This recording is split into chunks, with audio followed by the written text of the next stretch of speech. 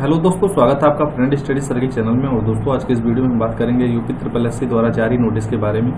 और जैसा कि दोस्तों, यहाँ पे 2016 की एक रिक्रूटमेंट थी और उसमें कई पोस्ट थे, अनुदेशक के पोस्ट थे। तो वो जो एग्ज़ाम है, वो 7 अगस्त को ही होने वाला था, लेकिन आयोग द्वारा एक नोटिस जारी कर दिया गया है और इस एग्ज़ाम को जो है, फिर से पोस्टपोन कर दिया गया है।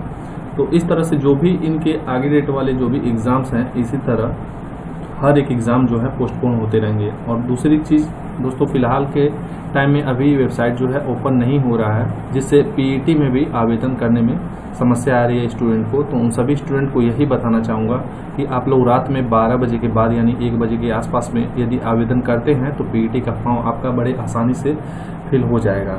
जिससे इस टाइम जो है सर्वर पे बहुत ज़्यादा ट्रैफ़िक है। जिसकी वजह से आवेदन करने में आपको दिक्कत आ रही होगी। और फ़िलहाल में अभी दो दिन का समय है तो आप लोग पीईटी का जो भी स्टूडेंट आवेदन नहीं किए हैं और फ़िलहाल इस टाइम कर रहे हैं तो इस टाइम आपको सर्वे ट्रैफ़िक मिलेगा। इस वजह से आप एक बजे रात में या फिर मॉर्निंग में करेंगे तो बड़े आराम से आवेदन हो जाएगा। और जैसा कि इसमें नोटिस जो है ओपन नहीं हो रहा है। यदि ओपन करना चाहेंगे तो ओपन नहीं हो रहा है। और जैसा कि यहाँ पे आप देख सकते हैं कि ये जो रिक्रूटमेंट है 2016 की है, इसमें कई पोस्ट हैं और सात तारीख को एग्ज़ाम होने वाला था, लेकिन इसे स्थगित कर दिया गया यानी पोस्टपोन कर दिया गया है।